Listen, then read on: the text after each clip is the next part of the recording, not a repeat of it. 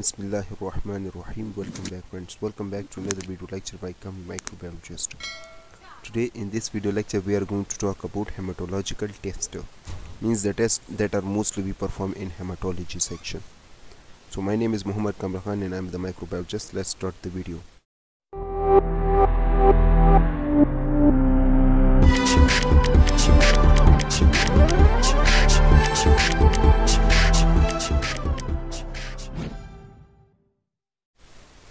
now in this video we are going to talk about what is hematology test what type of the tests that are used in hematology the principle of uh, all the hematology test method and procedure that how we perform different tests that are used in hematology what are the uses means uh, for what purpose we mostly perform the different types of the hematology te hematology test because uh, there are different tests of the hematology but each of tests are used for special purposes then objectives we are going to talk about the requirements means what type of the things we require in hematology test. Uh, the normal range uh, uh, of the hematology means there are different tests uh, they, they have normal range as well.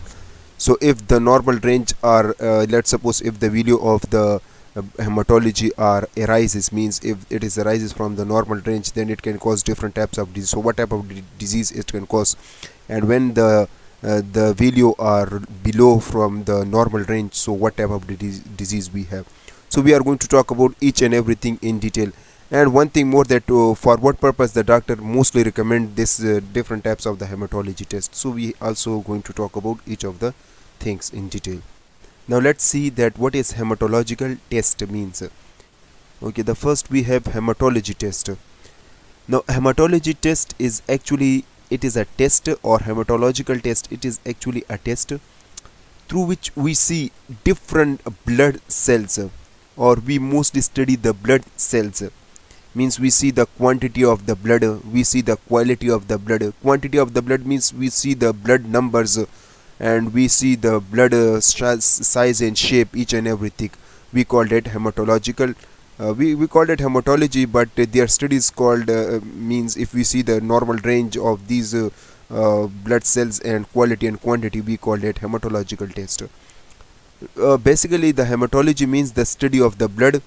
For example blood disorder blood shape blood cell sh size shape etc and hematology mostly include the blood as well as the bone marrow means we better know that uh, blood are mostly releases from the bone marrow. So that's why in hematology we also study the bone marrow as well.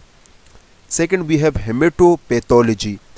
It is actually it doesn't mean that we just study about the diseases because we better know that pathology means the study of disease. But in this case uh, we talked about the pathological level of the blood. It also mean like that. But as well as we also see the bone marrow function means the abnormal function of the bone marrow. It is also mentioned in the hematopathology. Then the hematopathology is actually also the study of the organ as well as the tissue that are mostly used for the blood cells production. Okay means it is involved uh, those organ those tissue that are involved in the blood uh, cells production and that are specially involved to perform the means there are different types of the cells that perform the, their function uh, that are specially uh, released from the organ as well as tissue. Now let's see that what type of the uh, things that are involved in the hematopathology. In hematopathology we mostly study the lymph nodes uh, spleen thymus and lymphoid tissue. Now these are the different types of the tests that we are going to talk in hematology. That's are really really important to know about each of the tests CBC means complete blood count, FBC means full blood count, CBP means complete blood picture or CP complete picture. The doctor sometimes recommends CBC, sometimes they write FBC, sometimes they write CBP, some sometimes the doctor write CP. So don't be confused in this. All means same. CBC means uh, we want to see the complete picture of the blood, to see the complete blood count okay so we will we will talk to the complete blood count in detail in upcoming video lecture. That's really important. Then next test we are going to talk about the hemoglobin electrophoresis. Okay after that we will talk the reticulocyte count. Reticulocyte means immature rbc count. Then we have sickle cell test iron assay we mostly see in this case uh, iron because we better know that uh, hemoglobin is made up of iron as well although it is made up of hema and globin protein iron in protein. Then we are going to talk about osmotic fragility test in which we see the uh, membrane permeability of the uh, RBC and we are going to talk, uh, talk about the malarial test. Malaria test means malarial parasite like that type of the test which we perform on the blood uh, blood smear. We make the blood smear and then we see the malaria parasite. We will talk it also in detail. Coagulation test in which we see bt ct blood clotting time uh, uh, blood bleeding time clotting time prothrombin time all these are mentioned in coagulation test. We will talk it in detail. Coombs test in which we talked direct and indirect Coombs test. Blood grouping glucose 6 phosphate dehydrogenase bone marrow aspiration blood film in blood film we mostly see uh, different types of the cells uh, for specially used for the cancer identification.